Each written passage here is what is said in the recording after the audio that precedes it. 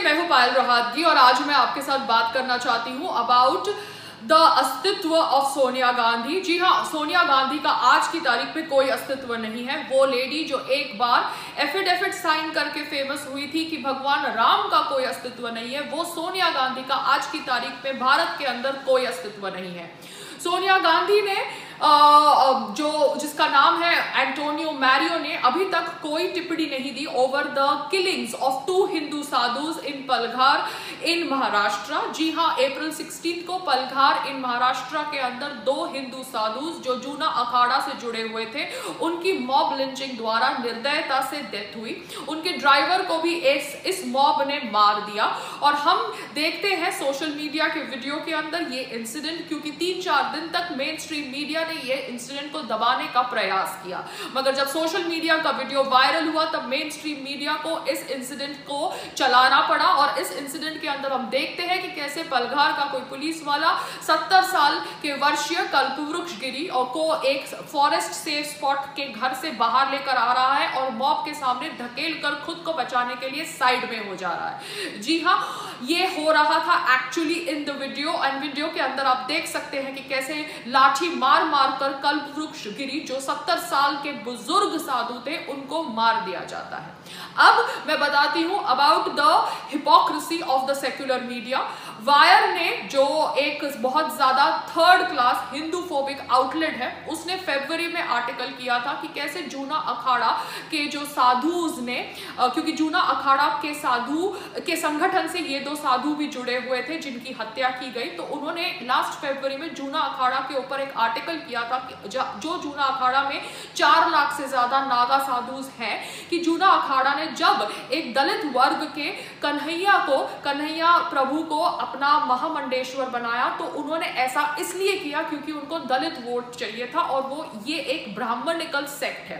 अब ये जो ब्राह्मणिकल सेक्ट था सडनली ये दो ये दो साधु जो इस ब्राह्मणिकल सेक्ट से थे, वो साधु भी नहीं थे, वो हिंदू भी नहीं थे, आज की तारीख में एज पर वायर क्यों? क्योंकि उनको हिंदू मॉब लिंचिंग की कहानी नहीं बेचनी भारत के अंदर। उनको सिर्फ़ मुस्लिम मॉब लिंचिंग की कहानी बेचनी है, क्रिश्चियन मॉब लिंचिंग की कहानी बेचनी है। लिंचिंग होती है और लिंचिंग सभी धर्मों के लोगों के साथ होती है। लिंचिंग गलत है, मगर आप लिंचिंग को सिर्फ़ माइनॉरिटी के साथ अटैच नहीं कर सकते, ये मैं आपसे कहना चाहती हूँ। और वायर सिर्फ़ यही करती है। वायर के एडिटर के खिलाफ एक एफआईआर दर्ज करी है यूपी सरकार ने, यूपी पुलिस ने।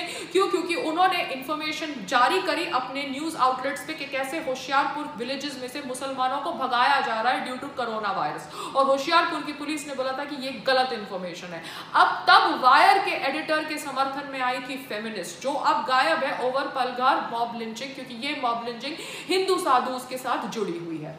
अब मैं जानना चाहती हूँ कि ये मॉब इकट्ठा कैसे हुआ कोरोना वायरस लॉकडाउन के समय? क्योंकि ये मॉब सौ लोगों से ज़्यादा का था।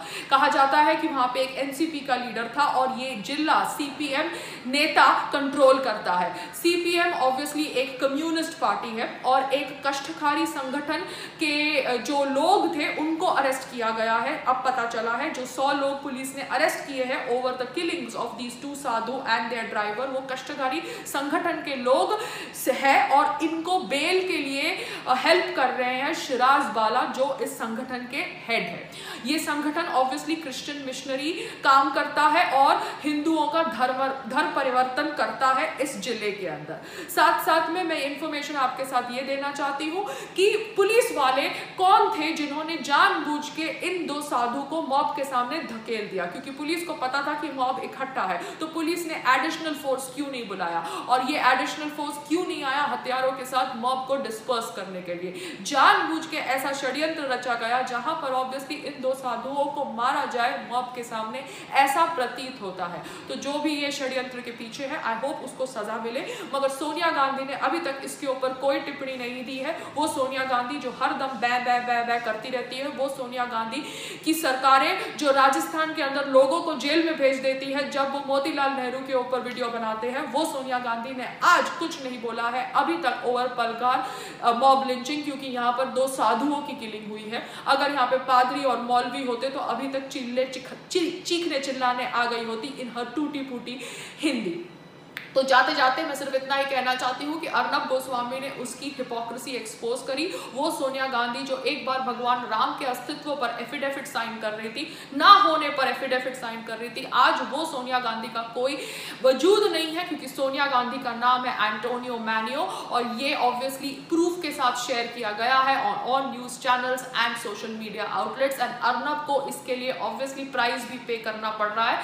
आई हर्ड दैट उसके ऊपर अटैक किया गया बाय कांग्रेस के goons and Arnab has gone to the police station to file a police complaint against Congress. तो कांग्रेस ऑब्वियसली लोगों के ऊपर अटैक करता है या उनको जेल में डाल देता है। अगर कोई सच्चाई बताता है about the Congress family tree the family tree that started with Motilal Nehru and now has Rahul Gandhi and Priyanka Gandhi at the end आगे जाके इनका क्या होगा मुझे नहीं पता, मगर सोनिया गांधी का आज की तारीख में कोई वजूद नहीं है। तो इसे मैं कहती हूँ, जैसी करनी वैसी भरनी। जो हमारे भगवान के, राम के होने के वजूद पर सवाल उठाते हैं। आज उनका कोई वजूद नहीं है भारत में।